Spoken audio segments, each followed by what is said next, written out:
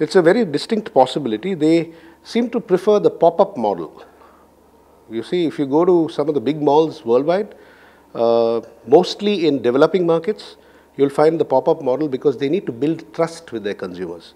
Something which is sitting on the web doesn't necessarily inspire trust amongst a larger mass of consumers, especially those who are not net savvy.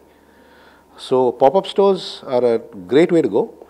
Uh, it is very possible. You look at a very simple example down. Uh, if you look at uh, Bombay Airport, you have a MakeMyTrip physical presence.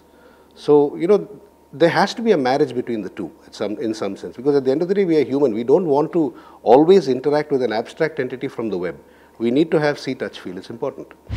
We actually see that happening, right? So where no, no longer are there physical retailers and online retailers.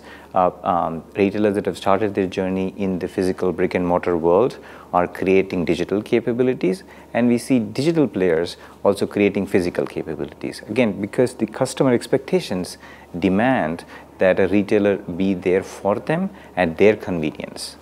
I think that that could pretty much happen. We are already seeing that happen uh, with, with a couple of them, specifically the marketplaces that we have heard of opening physical stores or Lenskart opening physical stores, etc. So we, we've seen a couple of them taking uh, steps in that direction. So that could pretty much be a possibility. It depends what product category are they dealing with. If the online retail is dealing with a product category that requires touch and feel, means I just want to try it out before I buy it, yes. And if there is a, a standard product, let's say I'm buying a hair dryer, I don't need to go and touch and feel it.